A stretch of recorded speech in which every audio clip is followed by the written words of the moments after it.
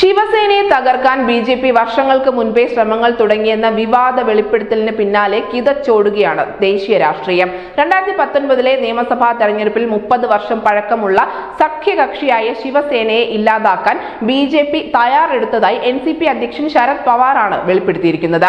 പവാറിന്റെ ആത്മകഥയായ ലോക് മജേ സഗ്ദിയുടെ രണ്ടാം ഭാഗത്തിലാണ് ഞെട്ടിപ്പിക്കുന്ന വെളിപ്പെടുത്തലുകൾ ഉള്ളത് രണ്ടായിരത്തി പത്തൊൻപതിലെ നിയമസഭാ തെരഞ്ഞെടുപ്പിന് ശേഷം ബി ജെ പിക്കെതിരെ ശിവസേനയിൽ പുകയുന്ന രോക്ഷത്തെക്കുറിച്ച് വിശദമായി ആത്മകഥയിൽ ഉണ്ടെന്നാണ് വിവരം.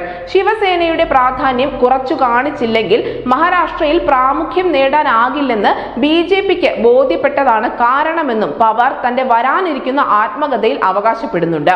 രാഷ്ട്രീയ സംഘർഷങ്ങൾക്കിടയിൽ ശിവസേന ബി ജെ പിയിൽ നിന്ന് പിരിഞ്ഞ് മഹാവികാസ് അഘാഡി രൂപീകരിക്കുന്നതിലേക്ക് നയിച്ചതിന്റെ വെളിപ്പെടുത്തൽ വലിയ ശ്രദ്ധയും നേടുന്നുണ്ട്.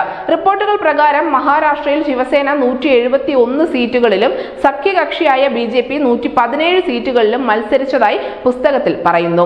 എന്നാൽ രണ്ടായിരത്തി പത്തൊൻപതിൽ ശിവസേനയില്ലാതെ സ്വന്തം നിലയ്ക്ക് അധികാരം നേടാനുള്ള ആഗ്രഹത്തിലായിരുന്നു ബി ജെ പി. അതിനാൽ കൂടുതൽ സീറ്റുകൾ മത്സരിക്കാൻ ബി ജെ പി അവകാശവാദം ഉന്നയിച്ചു. അങ്ങനെ ശിവസേനയ്ക്ക് നൂറ്റി ഇരുപത്തിനാല് സീറ്റുകൾ വിട്ടുകൊടുത്ത് നൂറ്റി അറുപത്തിനാല് എണ്ണത്തിൽ മത്സരിക്കാൻ പാർട്ടി തീരുമാനമായി. ശിവസേനയെ ഒഴിവാക്കി സംസ്ഥാനത്ത് ഭൂരിപക്ഷം നേടി അധികാരം ഉറപ്പാക്കാമെന്ന് ബി ജെ പി അമിത ആത്മവിശ്വാസത്തിലായിരുന്നു.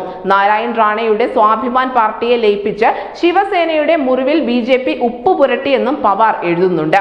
റാണയെ രാജ്യദ്രോഹിയായാണ് ശിവസേന കണ്ടിരുന്നത്. ശിവസേനയ്ക്കെതിരെ അൻപത് മണ്ഡലങ്ങളിൽ ബി ജെ പി വിമത സ്ഥാനാർത്ഥികളെ നിർത്തുകയും പിന്തുണയ്ക്കുകയും ചെയ്തിരുന്നു. അധികാരത്തിൽ തർക്കമില്ലാത്ത അവകാശവാദം ഉന്നയിക്കാൻ അവരുടെ എണ്ണം കുറച്ചുകൊണ്ട് ശിവസേനയെ തകർക്കാനുള്ള ശ്രമമായിരുന്നു അതെന്നും പവാർ തന്റെ ആത്മകഥയിൽ പറയുന്നു. കൂടുതൽ വേദനിക്കുന്നിടത്ത് അടിക്കുക എന്ന തന്ത്രവും ബി ജെ പിക്ക് ഉണ്ടായിരുന്നു രണ്ടായിരത്തി പതിനേഴിലെ മുംബൈ സിവിൽ തെരഞ്ഞെടുപ്പ് മുതൽ തന്നെ താനെ കല്യാൺ ഡോബിവാല നവി മുംബൈ മീര റോഡ് ഭയാന്തർ വ്യവസായ് വിരാർ മുനിസിപ്പൽ കോർപ്പറേഷനുകൾ തുടങ്ങിയ നഗര പ്രദേശങ്ങളിൽ ബി ജെ പി ശ്രദ്ധ കേന്ദ്രീകരിക്കാൻ തുടങ്ങി. ഈ മേഖലകളിൽ ശിവസേനയ്ക്ക് സ്വാധീനമുണ്ടായിരുന്നു. ഇക്കാരണത്താൽ ബി ജെ പിയും ശിവസേനയും തമ്മിലുള്ള ഭിന്നത വർദ്ധിച്ചുകൊണ്ടിരിക്കുന്നു. എന്നിങ്ങനെ പോകുന്നു പവാറിന്റെ ലോക്മച്ചെ സന്ധിയിലെ വിവാദപരമായ വെളിപ്പെടുത്തലുകൾ. News desk news India Malayalam.